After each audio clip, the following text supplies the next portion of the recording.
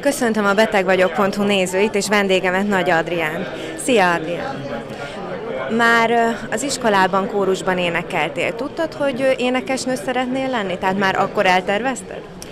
Akkor még talán nem eléggé zárkózott lány voltam, és általában otthon énekelgettem. Ez körülbelül olyan, olyan 14 éves koromban kezdett tudatosan foglalkoztatni, hogy én most szeretnék énekesnő lenni, és akkor már mondták, hogy különlegesebb a hangom, mint a többieké, mert ugye alt kettő vagyok, és meg is maradtam ebben a mélységben.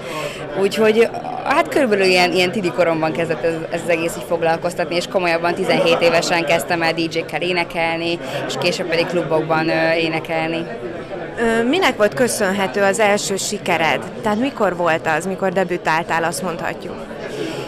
Hát talán az első úgymond kisebb siker az ugye egy, egy DJ barátommal készült, egy kecskeméti DJ barátommal, vele nagyon sokat jártunk országosan fellépni klubokba, de úgymond az első siker az tényleg a szinglik éjszakája volt, amivel egy nagy közönség megismert, ez 2010 februárjában került megjelenésre. Ki a kedvenc magyar énekesed? Fú, nagyon sok jó van szerintem mostanában, ugye tehetségkutatóknak is köszönhetően. Én nagyon-nagyon szeretem Karamelt, nagyon szeretem Tóth Gabit, én általában az én erősebb hangú énekes, énekeseket szeretem, vagy akár a Magna Cum Laudét, Back to Black, de rengeteg olyan zenekar és énekes van, akit, akit szeretek, és szerintem jó irányba haladunk most már végre, és vége, vége van ennek a playback korszaknak. A szinglik éjszakájáról annyit, hogy én is barátnőimmel rendszeresen hallgatom ezt a számot, mielőtt elmegyünk bulizni, és tudom, te is szingliként éled az életed. Viszont ugye azt tartják, hogy sok kisővel kell találkozni, hogy megtaláljuk a nagyot. Te mennyire vagy nyitott, illetve me- mennyire adsz esélyt, és milyen típusú fiúknak adsz esélyt? Én abszolút nyitott vagyok egyébként így, így, így párkapcsolati téren, de nem igazán találom meg a magamhoz illő társat. Én sem vagyok egy könnyű eset, ezt elismerem, de nem olyan régen ért véget egy három éves kapcsolat, tehát igazából most, most tényleg ez, ez, ez a szingli élet ez nagyon-nagyon tetszik nekem, barátnőzés, bulik, sokkal több időm sportolni, tehát most, most, most abszolút élvezem ezt a, ezt a kis világot. Nem zárkózom el tényleg egy, egy kapcsolat előtt, hát milyen fiúkat szeretek. Legyen határozott, legyen férfias, legyen kiállása, és, és nagyon-nagyon szeretek nő lenni egy férfi mellett. Tehát szeretem, hogyha egy pasi tényleg határozott. Én sem vagyok egy határozatlan ember, de azért felettem kerekedjen belül. Azok a tapasztalatok, hogy a férfiak uh, tulajdonképpen bulikba vagy rendezvényeken nem olyan határozottak. Szerinted kinek kell kezdeményezni? Tudom, hogy a tradíció szerint mindig a férfi kezdeményez, de úgy érzem, hogy mostanában azért a szerepek felborultak. Te mit gondolsz erről? A határozott nőktől nagyon félnek a férfiak, én úgy gondolom.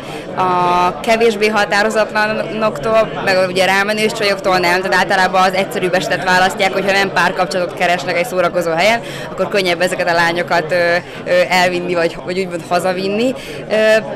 Mindenképpen egy pasinak kell szerintem kezdeményezni, én abszolút ilyen konzervatív vagyok ilyen téren is, én, én nem is szoktam úgy oda menni senkihez, úgyhogy én is inkább várom azt, hogy, hogy valaki kezdeményezzen nagyon-nagyon sok rossz, rossz dumával és nagyon-nagyon sok rossz szöveggel szoktak oda jönni, tehát ez a Tudom, hogy nagyon nehéz dolgok van a fiúknak is, de általában szerintem, hogyha már megvan a szemkontaktus egy bizonyos ideje, akkor szerintem abszolút szabad a pálya, és legyenek kreatívak.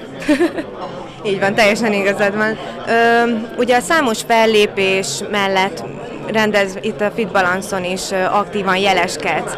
De mennyi időd van sporttal foglalkozni, illetve mit sportol?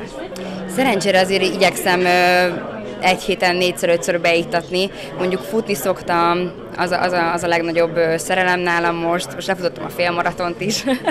Úgyhogy a futás, a speed fitness nevű mozgásform, ugye ott elektródákkal edzünk, és ott, ott igazából az idő, ami, ami nagyon-nagyon sokat megtakarít, tehát 15 perc edzések vannak, és körülbelül ilyen másfél órás kőkemény és újzódásnak felel meg, tehát ez idő szempontjából nagyon-nagyon jó, főleg az én életemben és, és emellett hát max kicsi edzőterem, taposás, ilyesmi, de, de ezeket próbálom így beiktatni. Általában mindig sikerül, mert korán kelő típus vagyok, tehát szeretek azért korán kelni, hogy mindent el tudjak intézni egy nap, úgyhogy így igyekszem beiktatni.